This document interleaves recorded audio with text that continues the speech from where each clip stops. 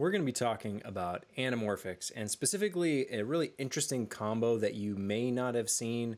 I don't know that I really got this from anywhere other than I just thought I'd test it out to see if this combo would work. I haven't seen this recommended anywhere else. Maybe someone else has done it, but it works really, really well. But I'll first start with just saying that anamorphic shooting is not for everyone. Most of my projects, in fact, I'm not shooting anamorphic. It's not very practical in terms of speed and efficiency on set. It's really going to slow you down.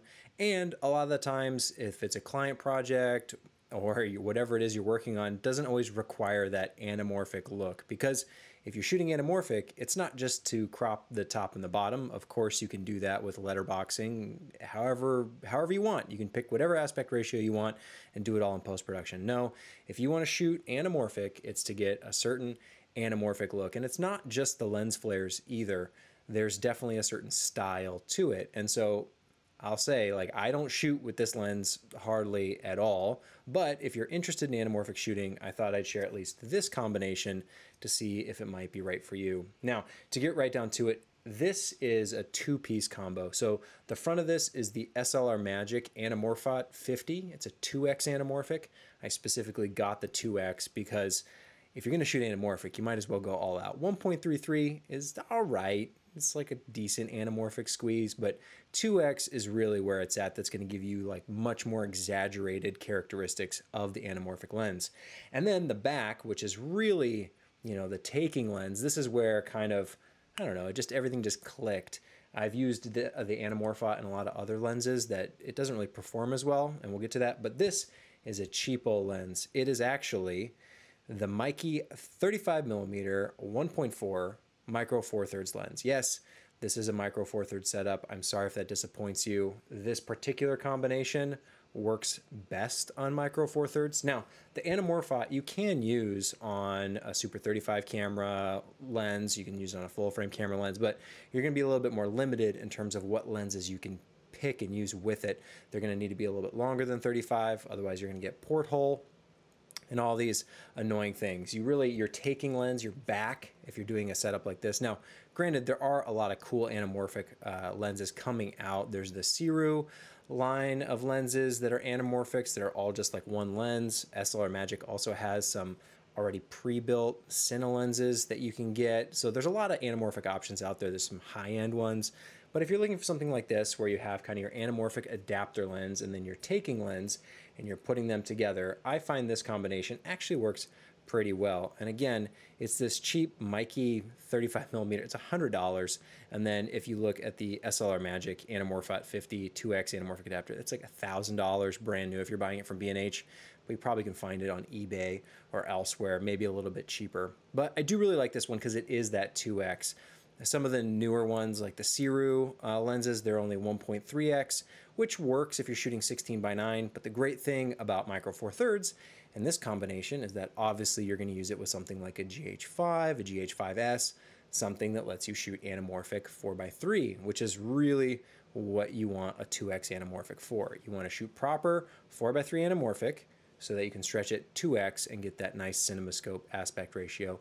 The Blackmagic cameras can also do this. So the Ursa Mini or the Pocket Cinema cameras can also do anamorphic, but really there aren't that many other cameras out there that do it well in the same way. The GH5, you can actually have stabilization going while you're shooting anamorphic, which is kind of a, a unique aspect to that camera.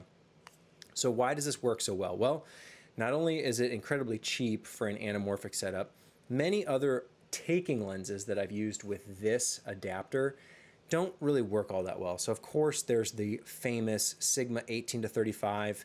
If you shoot with a GH5 or any kind of crop sensor camera, you probably know of the Sigma 18 to 35. Wonderful zoom lens, does not work all that great with this anamorphic lens. You're really looking for a taking lens that has a smaller front diameter. So if I unscrew this off of here, you can see that this is a 49 millimeter front and I have an adapter uh, step up ring on here that takes it to 62 which is the back of the rear element for the anamorphic. So 62 on the back and then it's 77 on the front for filters or whatever else you want to add. So if you had a variable ND or something like that. And that's the combination, you put them together. I also find that these kind of cheap mechanical just like basic, basic lenses do a lot better than some of the fancy autofocus lenses that are out there. Uh, this has manual aperture and manual focus, and both rings are declicked, which is nice. And they're kind of tough. I don't know how to describe it other otherwise. They're just very kind of stiff. So a lot of times if you're shooting with a combination of two lenses and you're changing focus, you're changing aperture and like things can get bumped and mess everything up, throw it out of alignment, it's kind of nice that this lens works as well as it does, just kind of holding its position, holding everything in place, and you're not going to lose a spot while you're in the middle of a shoot. Also, what works really nice about this setup is that it's relatively sharp. Many other anamorphic lenses, um, or at least taking lenses that you pair with an anamorphic, can be really soft and you have to stop way down to like f4 or 5.6 until they really sharpen up.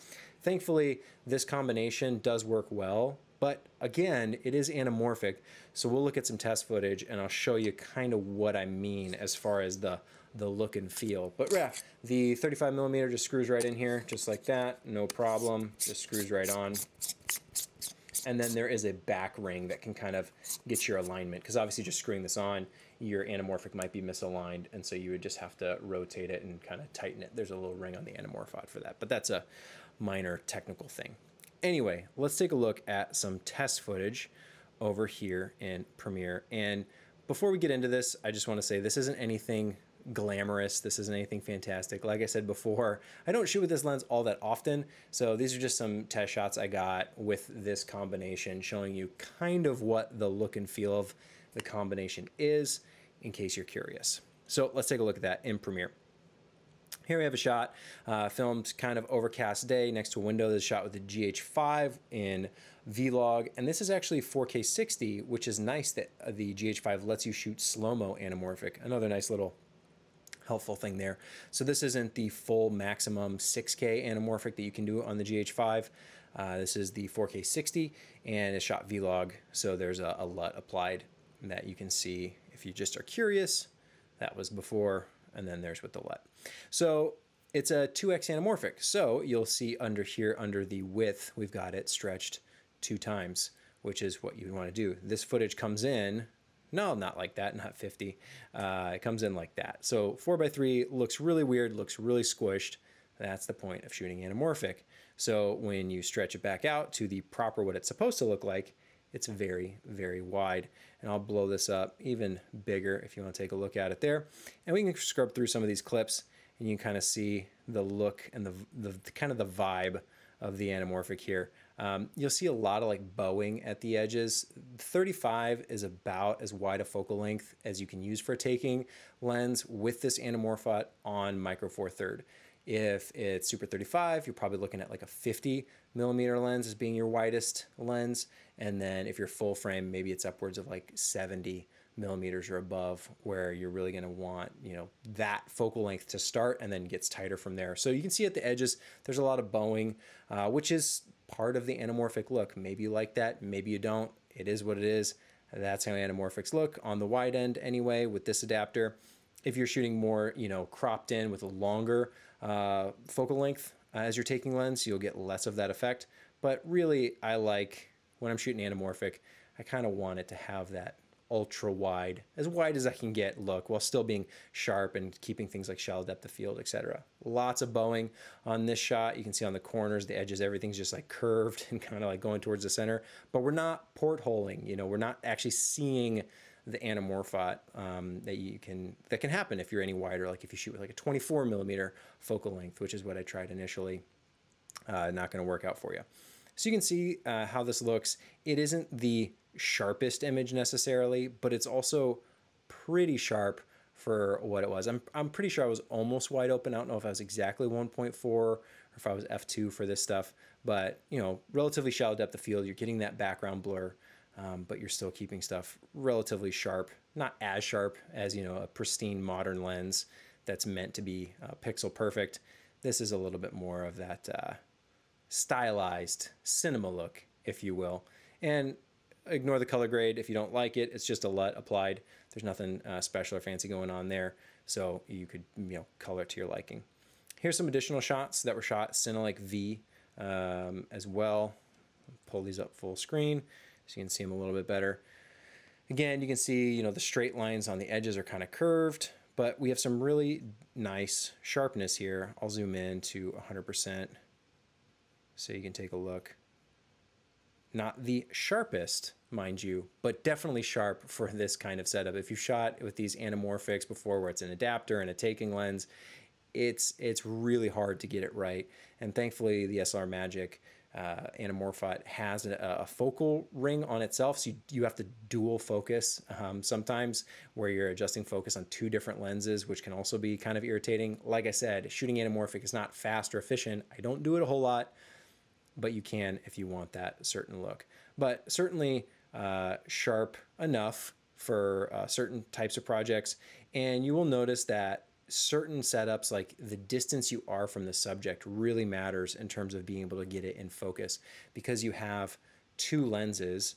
So you're focusing here on the anamorphot, like so you have your kind of normal, uh, you have your near near mode and then normal that go back and forth, and also anywhere in between. So there's many times where I find myself I'm not really near, I'm not really normal, I'm kind of in between on the anamorphot and then I'm also adjusting focus on the 35 millimeter, the Meike lens.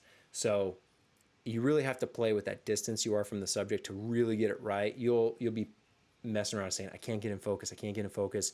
It's just it's just nothing nothing's looking sharp and it's usually a combination of one or the other or both really dialing it in. And once you play around with it a little bit, you get kind of used to the way it wants you to focus where you kind of set the anamorphot kind of first where it's like as sharp as it can get and then you dial in the taking lens for that extra sharpness. Uh, at least that's how it usually ends up working out for me, but it really depends on the distance from your subject and how that changes shot after shot after shot.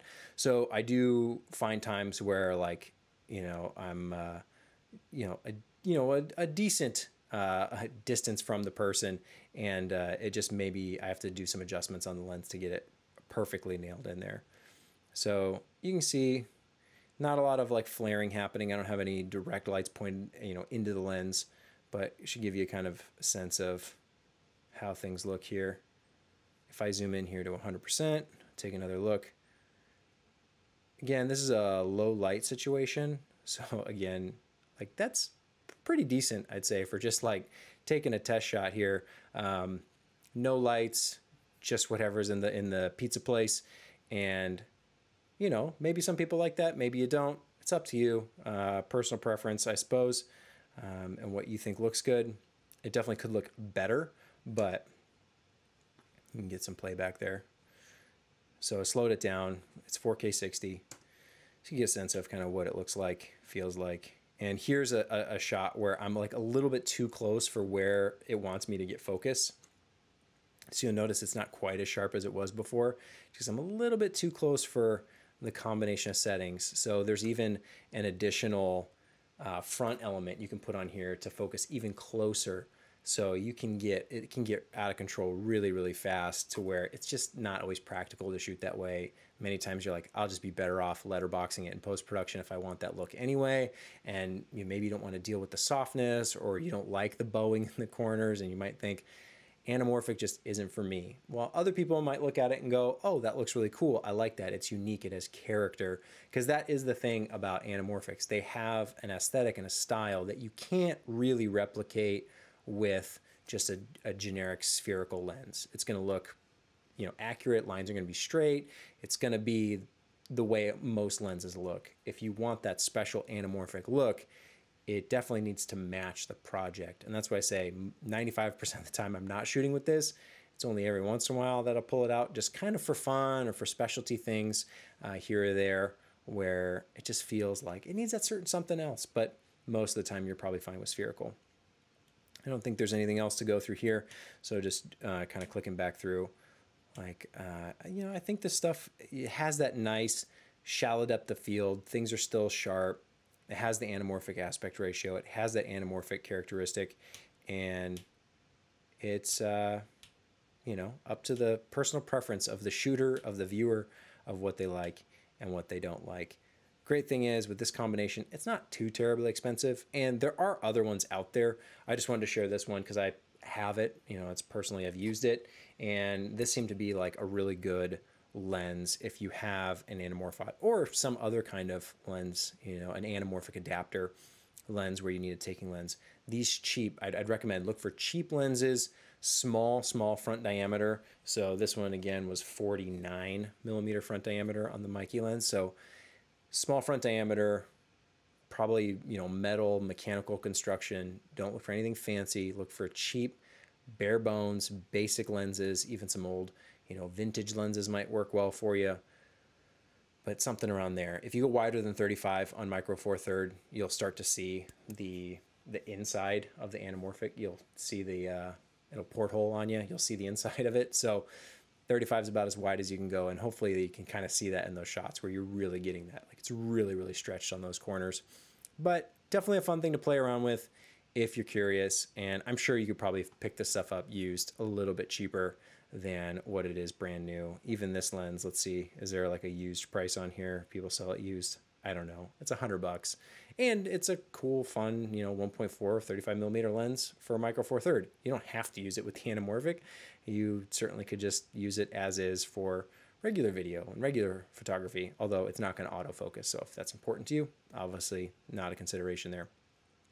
The Anamorphic, would I recommend it? I've talked about it. Mm, I mean, years and years ago is when I first got it, and it's really that thing where it's only for the specialty um, moments and occasions. It's not something that you need or have to have. Uh, I think in general, anamorphic is kind of that way. It's very tempting. It's very attractive because it has beautiful characteristics in certain situations, but it can be a pain to shoot with. So just keep that all in mind. Don't look at it too much like eye candy of like I have to have it that looks so cool and I have to spend the money. Maybe play around with it, dip your toe in the water, like start cheap before you go all out and you really invest into you know wanting to shoot everything anamorphic and then realizing this just doesn't fit your workflow because it can easily easily take away from a project because you it'll just eat up your time because you're fiddling with like the technical stuff of like getting the focus right instead of focusing on the other things that are more important like maybe lighting and direction and all that other stuff that happens on set. So just something to keep in mind, but I do recommend if you were looking for a taking lens, check the, you know, $100 Meike lens out. It's a, a fun lens to play around with. And then, you know, this is a relatively compact, decent setup. Not too big, not too heavy. You definitely don't have to have rails. It's probably a good idea to help support the lens, but you don't have to. So you can make it work. And, you know, something like a GH5 being micro four third, it is kind of the perfect combination since the GH5 is so good at shooting anamorphic anyway.